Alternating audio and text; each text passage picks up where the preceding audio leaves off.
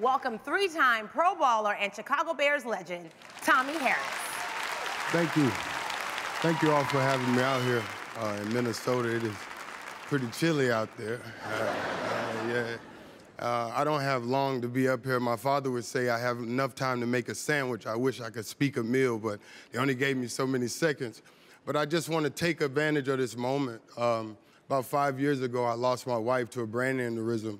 And uh, I remember sitting in the same auditorium, in the auditorium just like you were. We were in Indianapolis, and me and her were sitting here, and I was watching a man come up there also and talk about how he lost his wife. And as I was sitting there in the audience, I was only married for 30 days at that moment. And I didn't know 11 days later I would lose my wife. So my job, don't, don't, we, we won't all because I realized that death is a thing that happens in life. It's not a thing that happens to life. So my job is to go and tell everyone that is living to make life count. Make it count.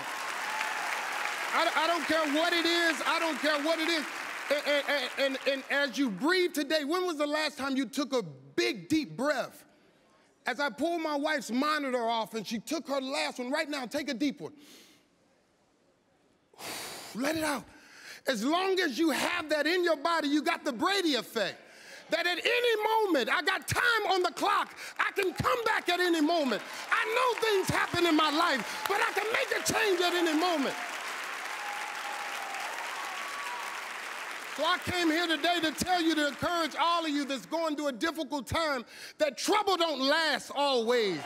That I've never seen a cloud sit over one person's house for a long time. This too shall pass.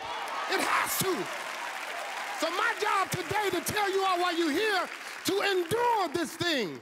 We've been made to endure the night, but our joy will come in the morning. Thank you guys.